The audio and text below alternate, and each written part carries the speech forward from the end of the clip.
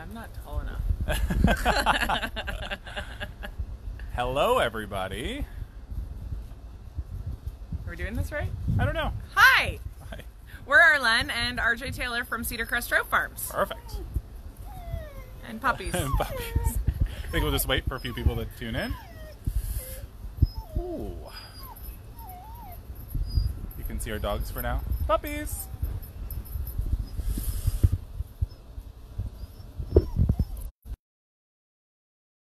We have eight viewers. We'll give it two minutes before we start.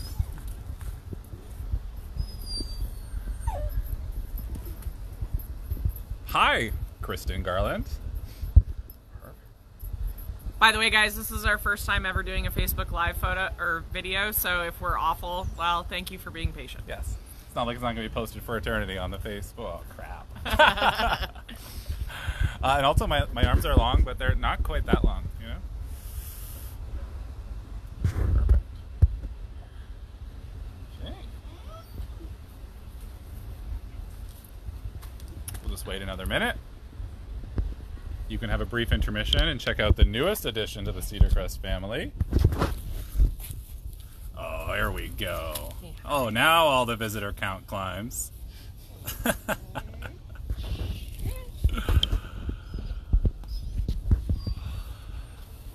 Perfect.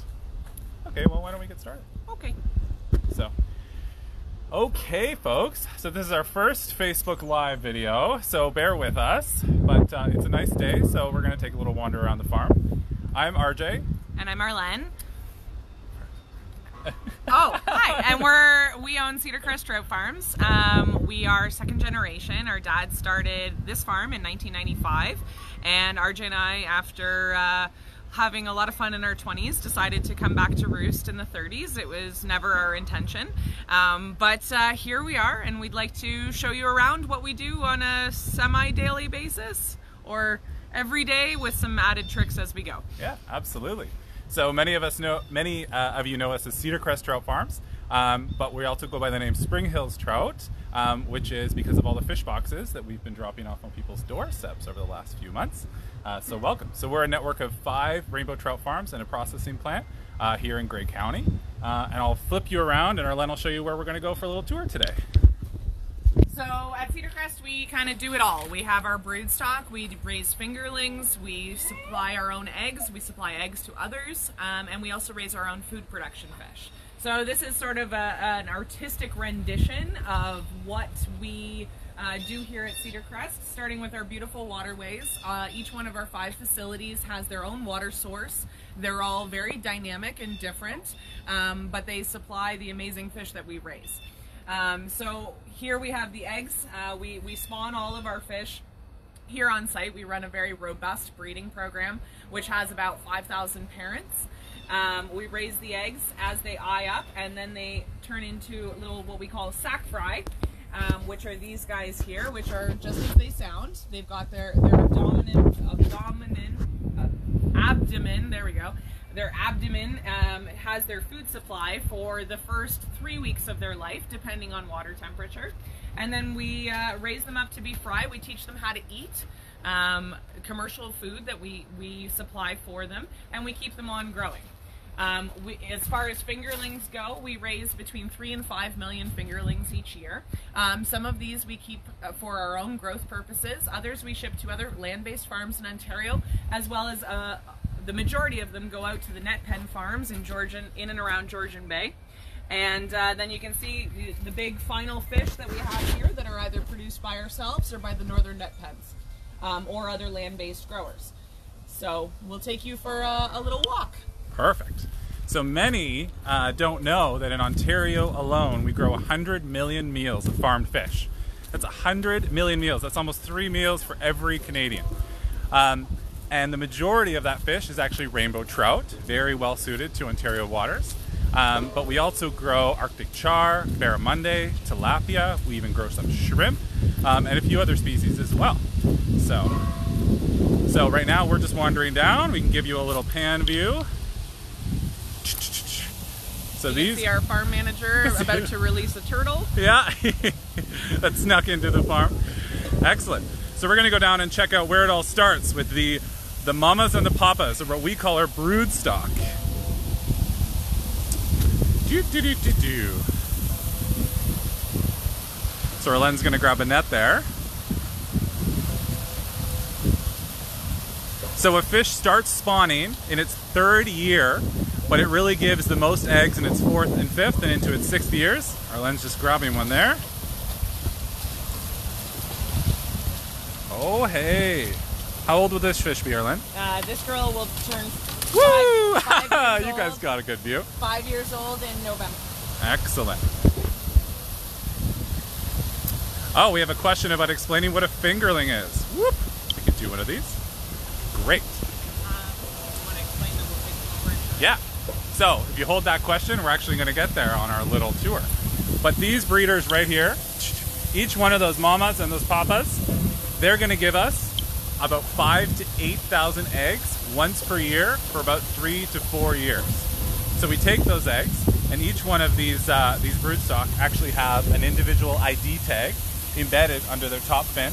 We're scanning those. We're collecting the eggs. We're collecting the milks, and then we use sort of a, a big data approach. We look at how these fish have performed in terms of how fast they grow, how many live, uh, how resilient they are, um, and we're looking at these fish, and then all of the previous fish that they've uh, that they've spawned, um, and then we're using that to make decisions uh, on specific crosses between males and females, specific families, uh, to get specific traits. We know that if we're raising a fish here on our sites, we need a slightly different fish than one raised in the net pens in northern Ontario.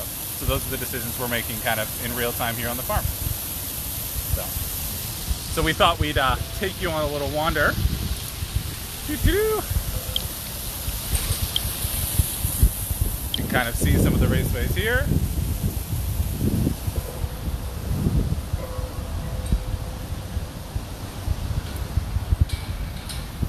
Okay, so we have some questions. How many males to females in each area?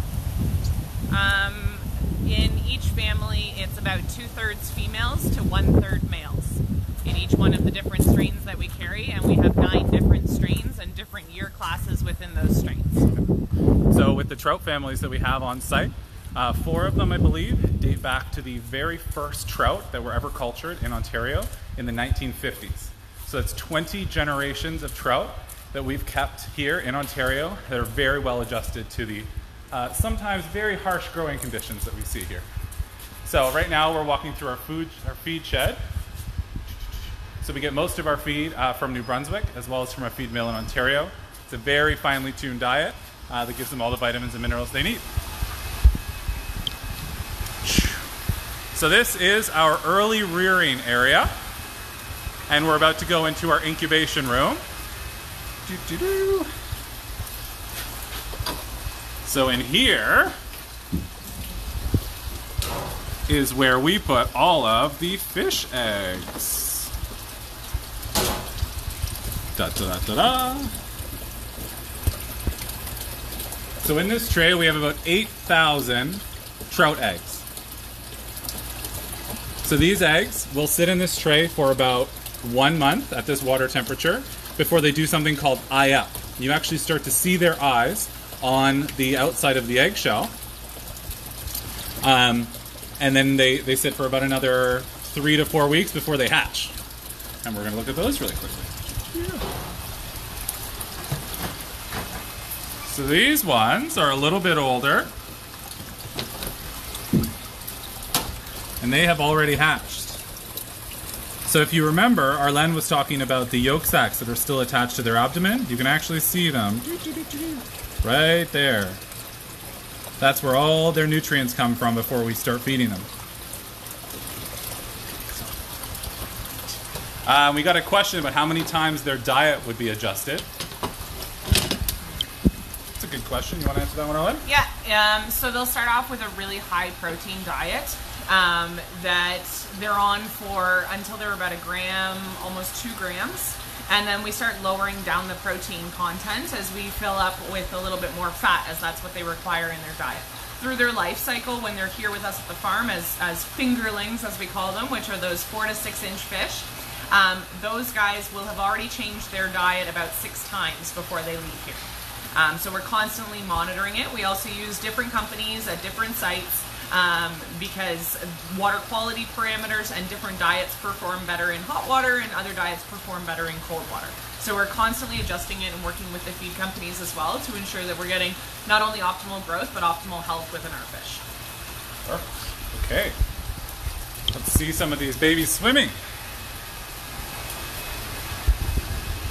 So we have Heather here feeding. As Arlen reminds me, this is a farm, not a movie set today. To show them some babies? Yeah. So you might be able to see here in the tank, Heather's just feeding them. You can see them shimmering across the surface. And uh, these guys are very busy eating. They eat, uh, these ones in here will eat between 8 and 15 times a day, depending on how big they are. When they're babies, smaller than these guys, um, they'll actually be eating between 15 and 20 times per day to make sure that we're giving them, have, they have the opportunity to eat when they're hungry.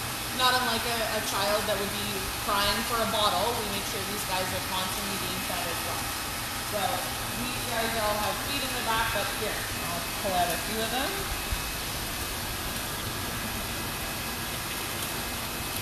You can see these guys. So these guys are just at the one gram mark.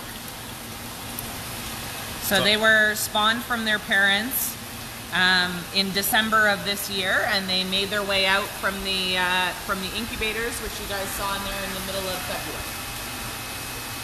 Perfect. I'm going to show them our, our newest edition. Oh, yeah, absolutely.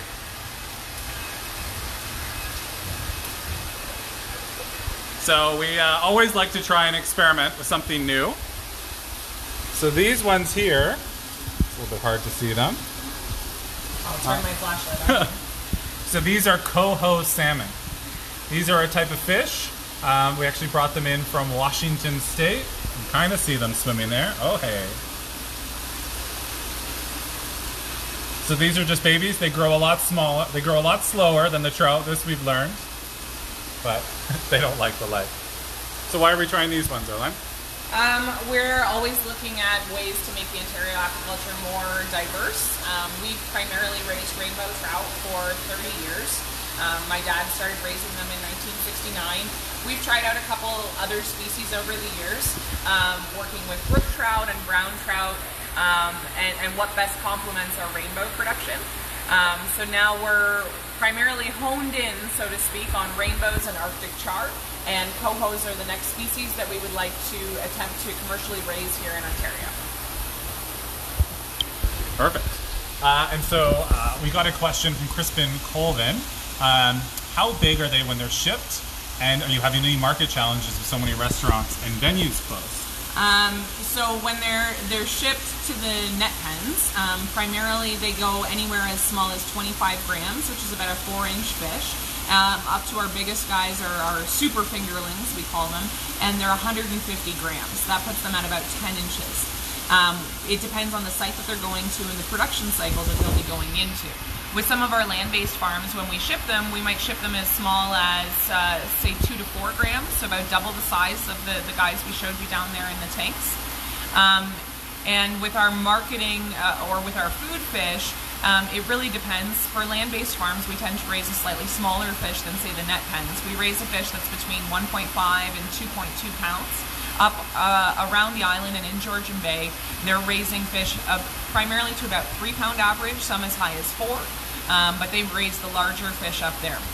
Um, Mark, we're really fortunate here in Ontario that because of the Ontario population, uh, we have a really strong um, presence in the grocery stores and other boutique um, stores. So we haven't seen the major slumps. We've seen a, a lot of changes in the market. Who does the shopping, when they do the shopping. Um, it used to be that fish needed to be ready to be sold primarily on Fridays and Saturdays, and we're now seeing that trend changing to a Monday, Tuesday regime. Um, for us personally here on the farm, the venues that closed that affected us the most were fish out ponds and private lakes. Um, so we supply a lot of fish uh, to northern Quebec, um, where the private lodges, American tourists come up and go fishing. All those orders were canceled uh, March 16th when when everything happened. So in response to that, RJ and I. Uh, well, we developed a company and uh, we are home delivering fish, so we're filleting them ourselves. and um, trying to keep up. The response has been incredible. The support is amazing. Um, however, it's uh, it, has been interesting. Um, so now we're we've got our own production taken care of, and we're working with some other land-based farms that also felt the hit of COVID. So it's um, stay tuned, but so far we're holding really strong. Um, Ontario is doing an incredible job at supporting local, um, which we couldn't be happier about. So, the amazing thing about aquaculture, I mean, we can. i I'll talk about this while we're walking. Um, the amazing thing about aquaculture is that we're able to take parts of um, the country or or or areas that are previously not generating food um, and, and, using them to create food. So most of our five farms are on pieces of land that you really couldn't develop for any other purpose except for maybe like a vacation property or something like that. Um, and we're using the natural springs, the river, um, pumping water, um, water off the escarpment, and we're using it to create food. The net pens uh, in Northern Ontario are the exact same thing. So um, our, our sector is a huge growth sector. We continue to see, you know, expansion of 20, 25% every year. Um, but unfortunately, because of COVID, we've halted all our expansion projects. So that's really what's, uh, what's affecting us now. So excuse the truck passing. Gonna look at some fingerlings? Thank you for the question though. Okay. So Arlen's gonna show you some of these fingerlings we keep talking about. And you can say hi to Aaron and James.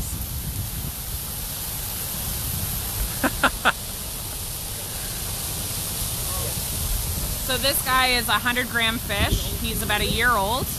Um, he is scheduled to ship in about two weeks. Um, so they'll be heading up there a little bit behind up north again because of COVID. Um, but uh, we'll be holding on to these guys um, for an, a little bit longer than we had originally planned, but then they'll be headed up north. These are some of the bigger ones that we will be shipping. Um, across the farm, uh, in total right now on this facility, uh, just in the outside portion of the facility, we have about 1.6 million fingerlings that are out here, um, all in different sizes, different grades. We spend a lot of our time um, grading them to make sure that they're the proper size and they're within a good group. Um, we also have mechanized counters that we're running, none of which we're running today just because it uh, was not the day to run them, unfortunately. Otherwise, we'd love to show you that. RJ can later tell people where they can find out more about some of those activities. Um, so yeah, out here it's uh, it's kind of an it's a one of a kind system. Um, basically, we're pulling water off of Camp Creek, which is just over the hill that we passed, and the water flows right through the farm like an artificial river, and then it flows right back to the river and rejoins about a kilometer down. So we're we're the stewards of this environment while it's here with us. It's an excellent place to grow fish. Um, it also helps them adjust to their what will be their life in the cages uh, or the net pens rather. Um, anything, we have temperatures that go down to freezing. Uh, in the winter will be 0.1 degree. This year was a very long winter uh, with snow on May the 9th, as I'm sure you all know. Um, and we'll get temperatures as high as 26, 27 degrees in summer. So it's managing the densities that are in the tank. So math is our, our number one thing here.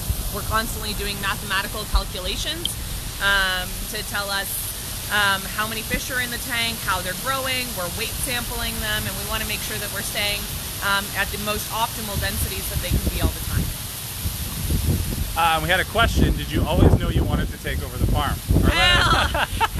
Um, this was uh, not our. There's the man himself passing over behind us. Um, that crazy bugger started the farm uh, in 1995. RJ and I both left when we were 18, uh, RJ went on for the, the typical life um, of, of, wanting to go the university route, and uh, I did as much as I could to get out of the country as fast as possible. And I spent uh, 10 years in Africa um, and the Middle East. So my my dad asked me to come home. I was at the right place in my life that that seemed like a good opportunity. And then I asked RJ to come back almost three years ago um, because I, we were growing and it was too much for me. And I have a young son and I needed help. And I think because we grew up on the farm, we took a lot of what we were exposed to and a lot of the activities for granted. Um, but sort of by the time we both reached the end of our 20s, um, we were really exposed to enough of the rest of the world that we were able to see that aquaculture and agriculture in general is actually an incredibly progressive sector. Um, there is a lot of um, problem solving. Um, there's a lot of new technology. Um, there's a lot of opportunities to bring in new ideas, to bring in new technology, to bring in new processes. Um, and it's growing. People always need to eat. Um, and, uh, and especially uh, in a field like aquaculture, um, demand is soaring way faster than we can grow it. If we can grow it, uh, we can sell it for a fair price. Our problem is we just want to need to grow one, two, ten times more than we're currently growing. So Yeah. yeah. Um, what were some of our other questions there? Okay, what were you doing in Africa and the Middle East? So, um, a little bit of everything and anything. Um, I started off as an HIV counselor. I uh, turned into an English teacher, and then I turned into a logistician um, and a negotiator. Um, I did a lot. I wore a lot of different hats. Um, I think being raised on a fish farm taught me a lot of different hats, and, and uh, I kept using that, and then brought it back again once I'd sort of explored. Uh, we had a question here. Why don't we end by the river over here? Uh, we had a question about what our favorite thing is about farming. So we might have different answers on this one, but I think I have a couple answers. The first one is um, because of COVID, we've actually been selling a lot of fish direct to customers uh, through Facebook and phone calls and emails. There we have the river. Um, and I absolutely love talking with anybody that will talk to me about fish farming. Um, we get a lot of questions, a lot of the, the questions about farm versus wild, about antibiotic usage, about sustainability and environmental impact. And I, I, I think it's one of my favorite parts of the job um, is, is education. So. Um, my favorite thing about farming is the lifestyle. Um, I like to be busy all the time. It allows me to do that, but it also allows me to raise my family here, uh, be with my family. You know, uh, many siblings would think it's corny to say, but my brother is my best friend, and uh, I get to be with him every day and beat him occasionally, which is helpful. um, so, you know, it's the lifestyle, um, so to speak. Yeah, absolutely. And I think it's also our team here. Uh, most of the people that work on our farms are site leads and, and, and everyone supporting them. Um, they've been with us for many, many years, some as many as 30 years. Um, and they, they are really what make every day uh, amazing. So, Yeah. yeah. Um, any other questions? Farm What- versus wild. Oh, what are your thoughts on farm versus wild? Excellent, excellent question. Um, so the way uh, I like to describe this one um, is that as a as as someone who myself goes to the grocery store um, and stands in front of a seafood counter that has like 25 different kinds of fish, how the heck are you going to choose them all? What's what's the difference? Um, as a consumer myself, I find the farmed versus wild uh, question um, not very useful. Um, in sort of the three years that I've been back on the farm, um, I've learned worldwide um, that there are some very well-run fish farms, um, and there are also some very poor-run fish farms. Um, but I've also learned that when it comes to wild, there's actually some very well-managed wild fish stocks, but there's also some very mismanaged uh, wild fish stocks in, in polluted areas that face a lot a lot of issues. So what I recommend is always looking for some sort of sustainability certification. Um, our farms are actually the only land-based farms in Ontario that have best aquaculture practices certification. We're also Oceanwise recommended, and that actually means that we have auditors on site poring over all of our activities to make sure that everything we're doing is in the best interest of our fish, in the best interest of the environment, and in the best interest of our staff here. Um, and there are certifications for wild fish stocks as well uh, that will tell you if, if a wild fish population is being sort of sustainably harvest um, and from a, an unpolluted area. So that's, uh, that's what I recommend. And a lot of grocery stores um, really like to celebrate those, uh, those certifications. So you'll probably see them loud and proud. So, okay.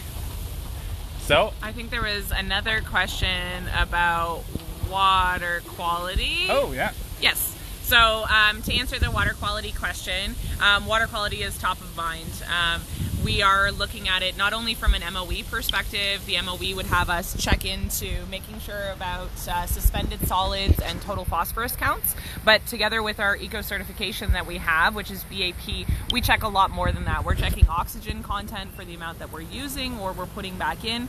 Uh, and looking at it. The one thing that's been really interesting is that Camp Creek, um, the water source which we take from for this farm, actually has three fish farms um, on it, using or or um, util utilizing the water or putting more water into it, and it's still one of the healthiest cold water streams in all of Ontario. Um, so we're constantly checking, we're doing monthly water samples, we're doing daily water counts to make sure that our oxygen is in place, we're not sapping the environment. And because of the farm being here, RJ kind of gave a picture of it earlier, but um, this is our discharge channel, which is where all the water flows back into Camp Creek, and it is almost it almost acts as though it's like a sanctuary. So there's brown trout and brook trout, and there's plants and ducks, and it's this vibrant, beautiful land. Um, that's so busy. Um, and, and it's really more, for us, it's about the ecosystem management. We need this river to maintain itself as healthy as long as it can and as much as we can do to support it. We also work together with Trout Unlimited to do a lot of stream rehabilitation, both above us and below us, just to make sure that we can repair some of the wrongs that have been done um, in the past with dam building and people playing around with rocks and things like that. And we're trying to keep it as healthy as we can and combat climate change the best that we can. So I think uh, that's all we have for today. Oh, what advice would you have for someone interested in studying aquaculture or a career in aquaculture? Um, so ironically, I, am, I, I, teach part of the course at uh, Fleming College for up and coming aquaculture technicians. Um, the reality is, is that it's it's a hard business. It's farming, um, so it, it's not a nine to five job. Um, it's very busy. It's very dynamic. You can have slow periods and busy periods, just like any other form of oh RJ. Oh, sorry. Um, any other form of, of things, but uh, a passion for fish and, and, an attitude that you can just keep fighting is, really what you need. Um, it's a highly innovative, interesting um, career path to take. It's not for everyone. Um, but it is uh, something that we greatly enjoy. And as RJ told you about his experience in aquaculture versus mine, they're very different. You can make whatever you want out of it. Yeah, there's a couple really, really good things that, that again, things I used to take for granted, but as I kind of went out and worked elsewhere, I realized aren't the case. One, you get to spend a lot of time outside. Most often, you spend more time outside in summer, which is nice, but you also get to spend some time outside in winter. Um, Another great thing is is almost everyone that works on the farms brings their dogs to work every day, uh, which is really really fun. Um, and also, uh, we're just a really close community here on the farm, and you'll find that with a lot of other farms and fish farms. Um, you know, it's not like we all race home at the end of the day. We're often sort of enjoying uh, Friday afternoons, Friday evenings together um, as well.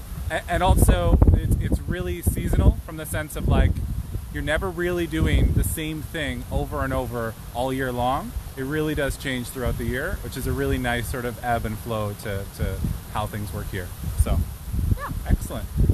So, so on that note, guys, thank you. Um, thank you for tuning in and uh, seeing our first attempt at a Facebook Live. And uh, yeah, you can Perfect. look for more information yep. on us on either YouTube or Facebook. We're kind of plastered all over the place, yep. and we're happy to answer more questions at any time. Yep. You can go to ontarioseafoodfarmers.ca or springhillstrout.ca. There's a whole bunch of more video tours and stuff as well. Maybe when we're not uh, receiving sheds and, and oxygen. And okay, bye everyone.